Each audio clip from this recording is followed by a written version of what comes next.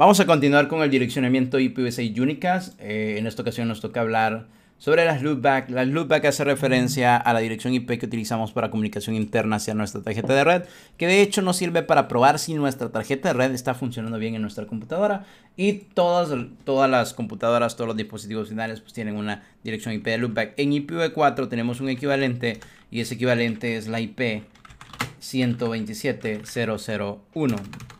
De hecho, es todo el segmento de red 127 que utilizamos para probar, hacer un test hacia nuestra tarjeta de red. De hecho, si yo le hago un ping a cualquier dirección IP que comience con 127, hace referencia a todo el segmento de red que utiliza TCP/IP en mi tarjeta de red y voy a tener respuesta. Lo mismo a nivel de IPv6.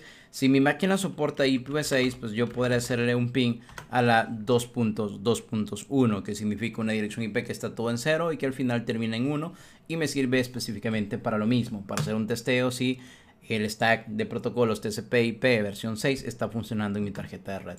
Luego tenemos las direcciones no especificadas. Eh, en este caso no podemos utilizar o está reservada la dirección IP IPv6 que tiene todo cero, que sus 8 bloques son en cero y que tienen un bar a 28, esa dirección IP todo en cero no se puede configurar. ¿okay? Es una dirección IP no especificada. De hecho, si yo me voy aquí e intento configurarla en mi tarjeta de red, vamos a agarrar esta tarjeta de red. Si yo intento a nivel de IPv6 configurar la dirección IPv6 que tenga todo cero,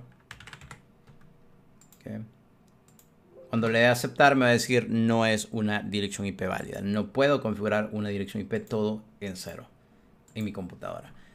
Por último tenemos en esta sección las direcciones unit local.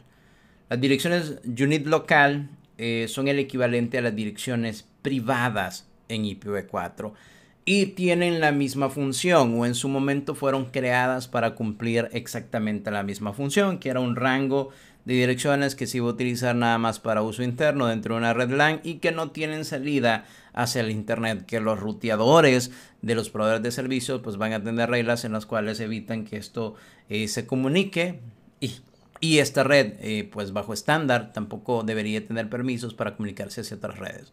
Nada más es un uso interno un uso privado. Esto trae nuevamente la problemática de NAT.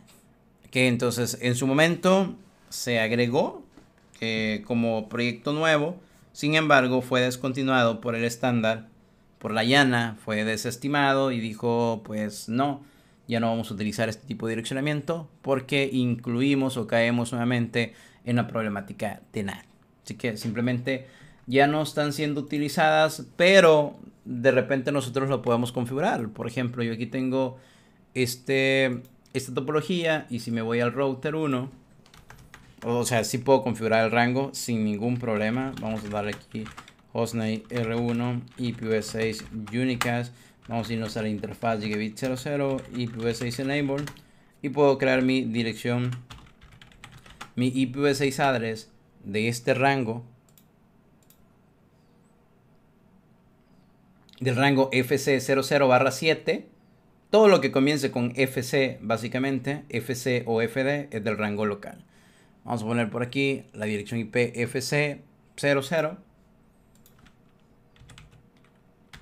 2.2.1 1 barra 64 y nos va a permitir show IPv6 interface brief configurar el direccionamiento la línea local y la unique local que no se recomienda utilizar ya direccionamiento privado. nos vamos al siguiente video donde vamos a ver las direcciones IPv4 embebidas.